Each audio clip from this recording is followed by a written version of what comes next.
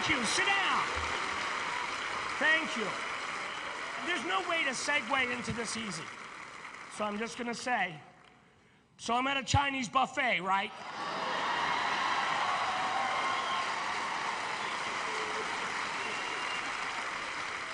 See, there are a few buffets that have never worked out for me. Chinese buffets, you get hungry again.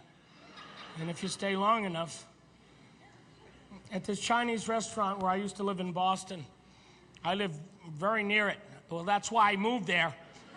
The owner had my picture up with a slash through it. No buffet. Son of a bitch. He was rude, though. He'd come out every hour. He's still here. He goes again. I give him enough MSG, kill an elephant. He still keep going. Go now. You here for hour. You don't come here anymore. Why you have spare rib? You so big. Eat vegetable. You scare my wife. It says all you can eat, but not forever. I.